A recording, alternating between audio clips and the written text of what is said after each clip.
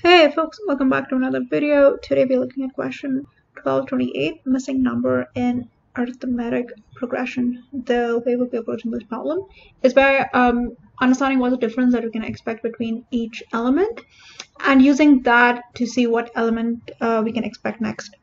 And the way we get the difference between each element that we're expecting is by looking at the first and the last element we know that the first and the last element of the array they uh, they cannot be edited out as me um, in the sense like they cannot be removed. So you can use that to get the difference. So for example in uh, first let's get the size.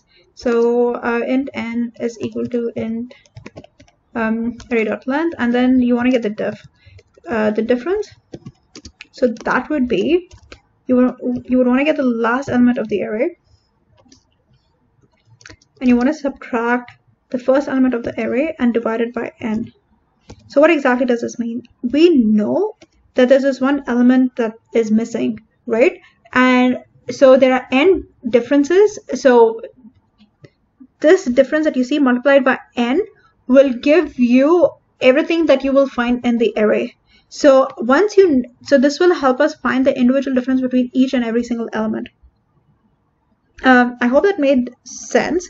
So using that, let's say, let's initialize um, i to array of zero. So this is a element that we know should occur um, in the first um, first occurrence for the in the first element of the array and you keep adding the difference to this i to understand which element should come next as soon as it's not equal you return uh, that as a result so in a from air, um, array so you'll check hey if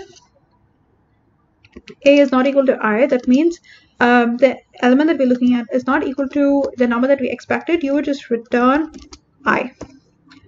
Otherwise, you would just increment of i by the difference.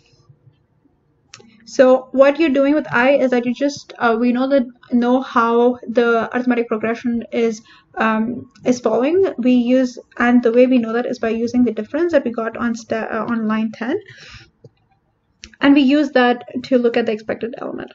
Um, awesome. So in the end, we just return return i. Awesome. So let's compile this and see if it's okay. Uh, all right.